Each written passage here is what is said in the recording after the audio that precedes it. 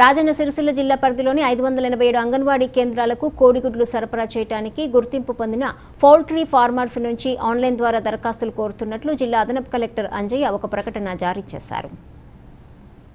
ఒక సంవత్సరం పాటు జిల్లాలోని అంగన్వాడీ కేంద్రాలకు కోడిగుడ్లు సరఫరా చేయడానికి గుర్తింపు పొందిన పౌల్ట్రీ ఫార్మర్స్ నుండి దరఖాస్తులు కోరుతున్నట్లు ఆయన తెలిపారు. కావున గుర్తింపు పొందిన పౌల్ట్రీ ఫార్మర్స్ ఈ నెల ఎనిమిదవ తేదీ నుండి ఉదయం పదకొండు గంటల నుండి పద్నాలుగవ తేదీ సాయంత్రం ఐదు గంటల్లోగా ఆన్లైన్ వెబ్సైట్ ద్వారా దరఖాస్తులు చేసుకోవాలని తెలిపారు.